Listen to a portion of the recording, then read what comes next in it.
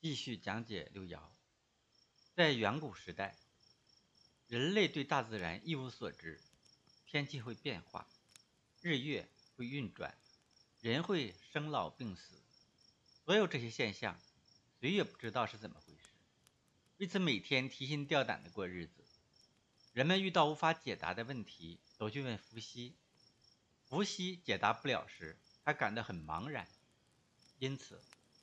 伏羲经常环顾四方，揣摩着日月经天、斗转星移，猜想着大地寒暑、花开花落的变化规律，想从中参悟天地自然的奥秘。有一天，伏羲在菜河里捕鱼，捉到一只白龟，他赶快挖了一个大水池子，把白龟养了起来。有一天呢，伏羲正在往白池龟里放食物。有人跑来说：“菜河里出了怪物。”他来到菜河边一看，只见那怪物说龙不像龙，说马不像马，在水面上走来走去，如履平地。伏羲走进水边，那怪物竟然来到伏羲面前，老老实实的站在那儿一动不动。伏羲仔细审视，见那怪物背上长着花纹，一六居下。二七居上，三八居左，四九居中，居右，五十居中。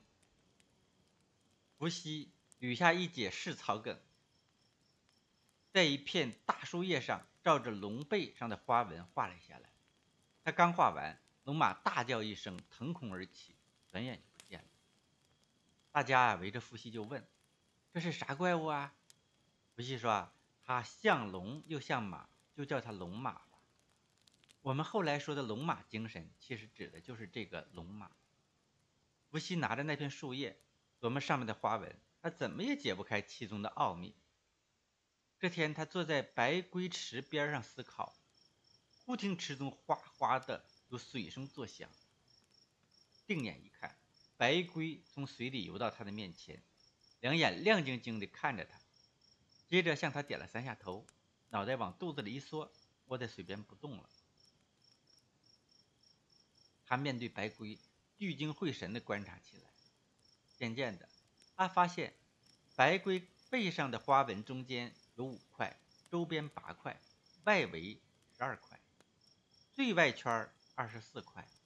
顿时心里就亮堂，悟出了天地万物的变化规律，就是阴阳而已。于是他就创造了八卦。人们把他奉为天神，尊其为八卦祖师。再后来，他看到中原一带市草茂密，开始将八卦的规律和原理结合市草的分布，来为人们占卜。这就是今天周易的起源。有了八卦以后，古人在行事前要占卜，然后把占卜的结果记录下来。这种记录符号，古人称为爻。由爻组成的图形称为卦，八卦的卦字，它是一个会意字，是从龟从卜。那龟呢，就是土龟，是开始啊，人们以泥做成土柱的形状测量日影。卜呢，就是测度的意思。卦是由古人观察日影工具上的土龟的意义引申而来的，是天体测量的工具。目的在于观察日月的运行，立八规测日影，即从四正、四与观察，将日影加上记录和总结，这就形成了八卦的图形。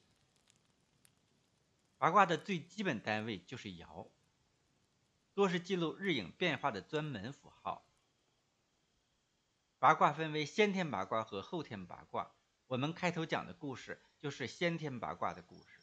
由伏羲根据河图洛书创出了先天八卦，周文王创的是后天八卦，这一点大家要分清楚。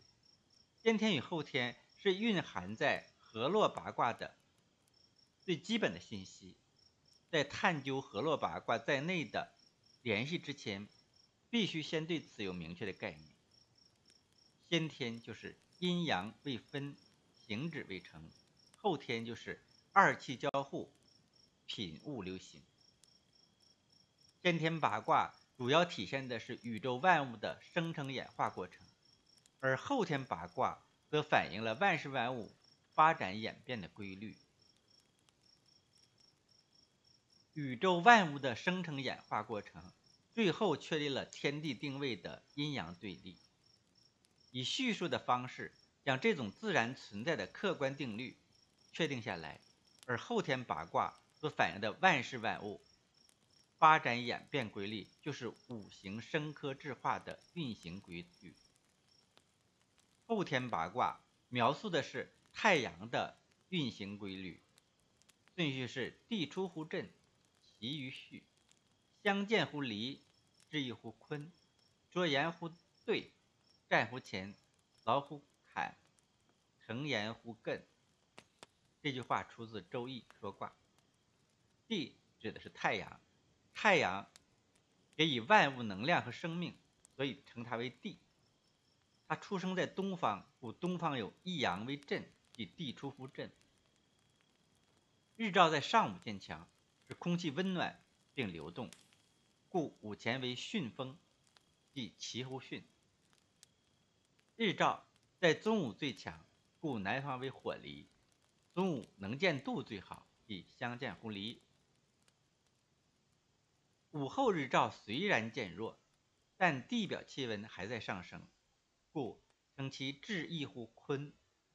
太阳没入地平线，大地开始转凉，阴阳能量交流转换，故正西方为顶着一阴的兑卦，即说言乎兑。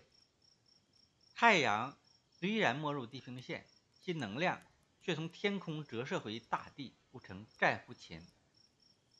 太阳能量呢，全部被大地吸收，故称老虎坎。地球吸收太阳能量后，不断向四周散发热量，直到剩下最后的一丝能量，故称成言乎艮。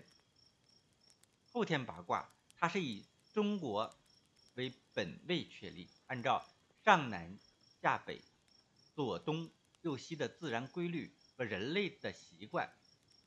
南方金于赤道，以离火表示；北方寒冷，以冰水坎卦表示；东方有森林为震卦，西方有湖泊为兑卦；东南有季风为巽卦，西南有高原为坤卦；西北多晴天为乾卦，东北多高山为艮卦。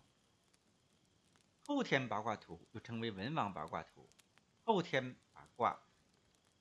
说明宇宙以内的变化和运行的法则，主要是用于判断人事的。那么用数字表示啊，一数坎，二数坤，三震，四巽，五居中宫，六乾，七兑，八艮，九离。方位呢是正卦正东，巽卦东南，离卦正南，坤卦西南，兑卦正西。乾卦西北，坎卦正北，艮卦东北。我们就把后天八卦的人丁定位作为主位，把先天八卦的人丁定位作为次位。六爻中判断人事的吉凶，按后天八卦各卦包含的内容断卦就足够了。